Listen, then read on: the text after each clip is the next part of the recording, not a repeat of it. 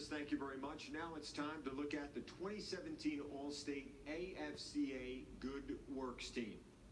One of the most coveted off-the-field honors in college football, recognizing those players who dedicate their time to bettering the community and the lives of others. For more information on the Allstate AFCA Good Works team, log on to ESPN.com and search Allstate. Congrats to this year's 22-member Good Works team for their countless good works and commitment in giving back. Joined by the captain of that team, Patrick Mohorcic. Patrick, congratulations. More than following somebody else's example of putting good in the world and doing good works in the community, you created your own initiative. Tell us a little bit about it. Yeah, so I um, created a couple, uh, but one we're gonna talk about is Scots Care. Is so Scots Care. Um, I always volunteered in high school with a camp with kids with learning disabilities, and a couple athletes and I got together my sophomore year. Um, Ksenia Kloon, uh, Alexa Ken, Alyssa Kendrick. We got together. You know, we know the pageantry of college football, and none of us here would trade that for the rest, the rest of our lives. And to be able to share that with kids, you don't get that every week. And, you know, we get it every Saturday.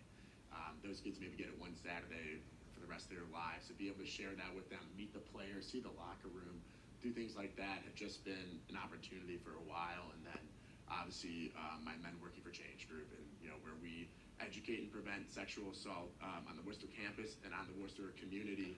Um, we're very proud of where we come from, a men's organization, talking about an issue that um, it's not just a women's issue; it's also a men's issue. So we're very excited where the, the strides are coming from with that.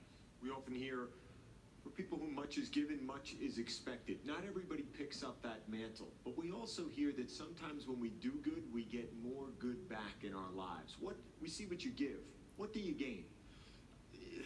You gain relationships, you gain friendships, you you gain so much more than just volunteering.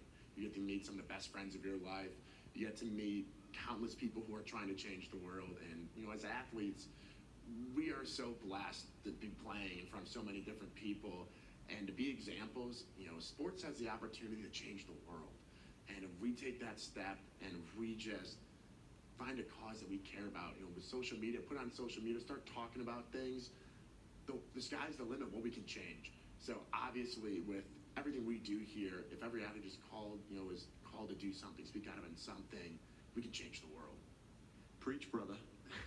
that kind of passion is uh, contagious. Well done as the captain of this team, Patrick. Thank you. Ladies and gentlemen, here to present the NCFAA Contributions to College Football Award, a man who has